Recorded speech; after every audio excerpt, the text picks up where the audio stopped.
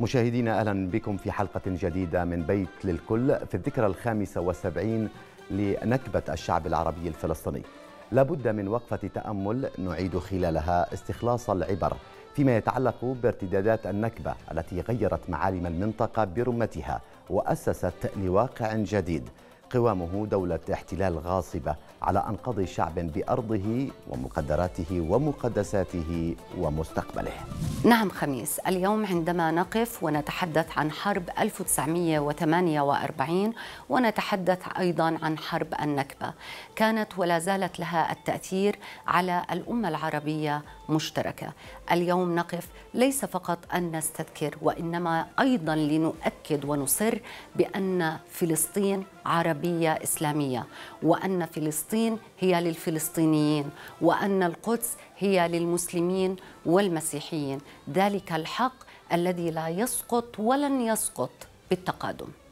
تحياتي لكم زملائي ومتابعي برنامجنا العربي بيت للكل من خلال شاشة القناة المصرية والقناة الأردنية والقناة الفلسطينية وقناة العراقية. حقيقة هذا البرنامج العربي الذي يلامس شغاف القلب في جميع مقتضيات البلدان العربية والهموم العربية.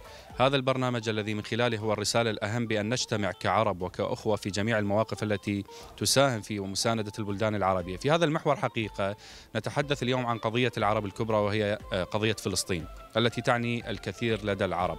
هي قضيتنا التي نبحث عنها من خلال أعوام مضت ولسنوات طوال ما زال الشعب الفلسطيني الصامد الصابر يجاهد ويضحي ويعطي الكثير من الدماء من أجل إعادة واستعادة هذه الأرض المباركة إلى أصحابها.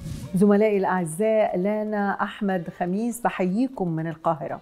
هذه الحلقة نتذكر فيها يوم صعب ووقت صعب جدا النكبة على أرض فلسطين.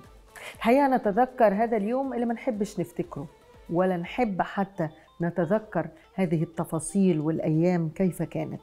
ولكن هي تذكرة.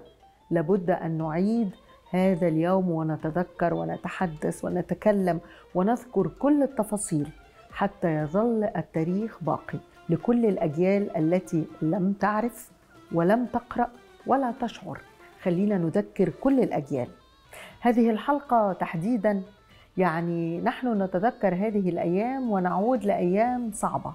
عاشها الشعب الفلسطيني وعاشتها أيضا الأمة العربية التي تؤازر وتساند هذا الشعب حتى هذه اللحظة. تعالوا نعود إلى تقرير وفي هذا التقرير نتذكر معكم كيف كانت هذه الأيام، كيف أفرزت هذه النكبة من مشاكل ومصاعب وكيف كانت الأثار وما زالت حتى هذه اللحظة.